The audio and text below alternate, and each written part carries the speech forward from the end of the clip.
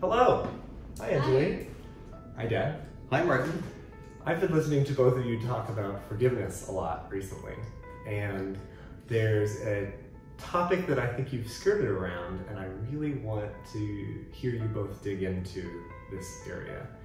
Imagine you are an adult, um, a young adult whose parents are healthy, aware, um, and you have some memory, some trauma, great or small, that is unresolved in your life.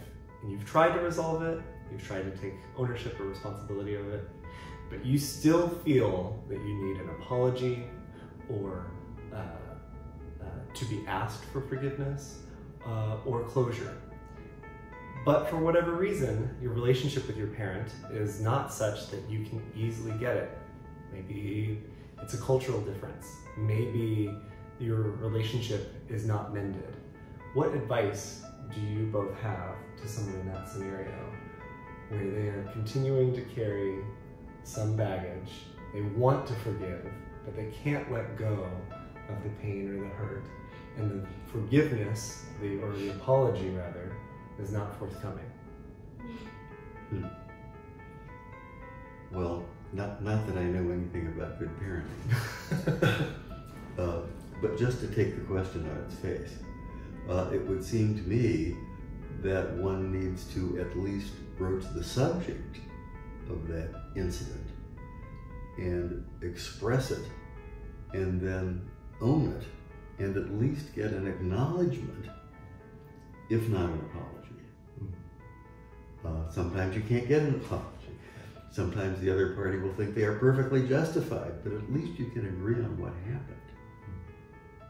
Yeah, I also think that, you know, um, understanding what damage that incident did to the other person is very crucial because, you know, it, it could be that they said something or did this, they did something, but they weren't aware of how that affected you. So to be able to express that in a way that is not forthcoming, um, you know, or full of vengeance, but really from the heart explaining to them what it did to you and what it, you know, what you had to go through because almost majority of the times I feel like they're not aware. Mm-hmm. And half of the acknowledgement, in fact, in fact, even the apology has to come from that knowing that this is what my act did. This is the effect. Right, and, and you might find uh, that's happened in, in those all too rare an occasion when they explain it from their point of view and you see that it, it didn't need an apology because right. it was something that was good and positive. Uh, and you're the one that had misunderstood what happened. Mm, so what I'm hearing is like it's really lack of communication mm-hmm. between yes. people who are related mm-hmm. that often gives rise to the situation. Yes. But what would you say? I, would say those are absolutely on on point. That if uh, the first thing, first order of business is to communicate your struggle, communicate what you experienced, to create empathy between you and this loved one who has hurt you, so that maybe that creates the, the bridge necessary. The, the reason that an apology isn't forthcoming is because they simply don't understand how this made you feel and how it continues to make you feel. So rather than asking for an apology, create a bridge for empathy. But if that isn't possible, right? And and as you said, in, in those instances, maybe maybe you gain new understanding, and and and you misunderstood their uh, the the purpose the of intent. the the intent, and even if the if the event was still not good for you, perhaps understanding that the intent was was good can help in your path to healing. But even if those instances aren't available, I'd say the one recourse that I think that you can have is to try to, you should still share this event with your loved one.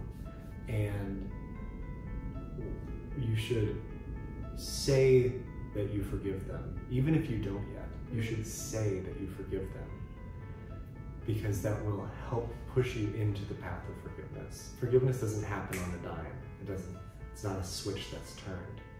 But leaning into an act of forgiveness can help you experience the release of forgiveness. Even if you don't feel consciously that the person has done their part, that they have earned it or warranted forgiveness.